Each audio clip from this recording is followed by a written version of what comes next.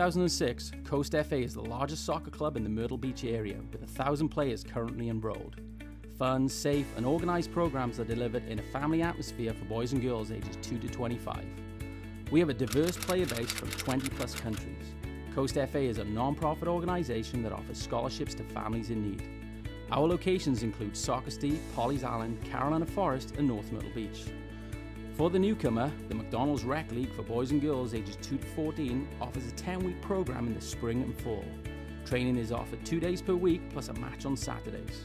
A great program to learn the basics and develop a passion for the beautiful game.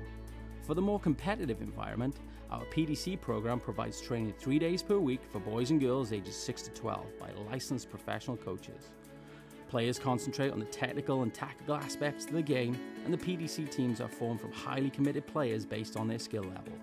The PDC teams participate in home and away matches in the Coastal Development League. For boys and girls ages 12 to 19 who aspire to play at the high school level and beyond, Coast FA offers our Select Team program. Select teams train three days per week and participate in home and away matches. Players must advance through tryouts each May before being offered a roster spot by our nationally licensed coaches. Finally, the Mutiny is our senior team for ages 18 to 25 and compete in the Premier Development League. PDL rosters consist of current collegiate and international players with home matches played at the beautiful North Myrtle Beach Sports Park. The Mutiny is an affiliate of the USL Charleston Battery professional team. We enjoy a great working relationship with the local government and host the largest youth soccer tournament in the Carolinas each April.